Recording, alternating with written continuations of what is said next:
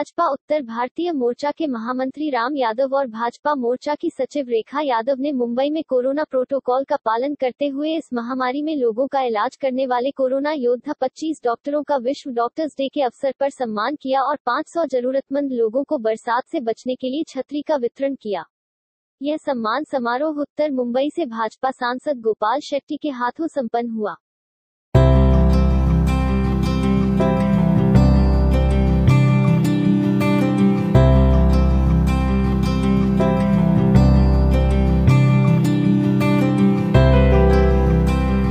डेढ़ सालों से कोरोना ने जिस तरीके से पूरे भारतवर्ष को अपने चपेट में लिया है तो अगर एकमात्र अगर हम भरोसा करते हैं तो डॉक्टर्स पे करते हैं, भगवान पे करते हैं, हमारी आस्था के हिसाब से।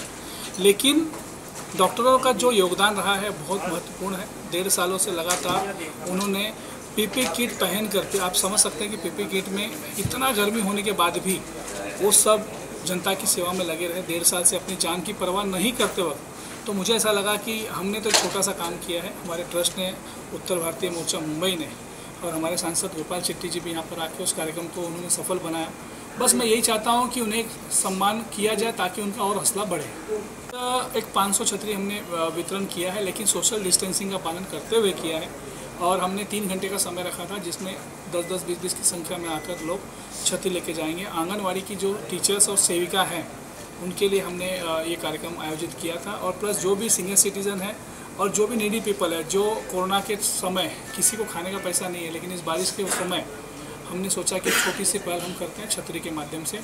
तो बाकी सारे कार्यकर्ता ने कहा कि नहीं, ये करना चाहिए। और रेखा यादव और उनकी पूरी महिला टीम ने कहा कि नहीं, ये कार्यक्रम अच्छा है। बस उसी के मद्देनज़र हम लोगों ने कार्यक्रम किया राम भाई को चाहने वाले लोगों की वजह से ही मैं दूसरे क्रमांक पे था, अपक्ष होने के बाद में भी। और इस बार जनता चाहती भी है कि कुछ बदलाव आए, क्योंकि शिवसेना ने बहुत ही करप्शन, आप जानते हैं, बीएमसी से लेकर महाराष्ट्र तक पूरा क्या हाल है, बेहाल हो गया। गणपत पाटिल नगर में तो वहाँ के लोग त्रस्त हैं। वो चाहते हैं कि कब इलेक्शन आए और हम इनको घर पर बिठाएँ।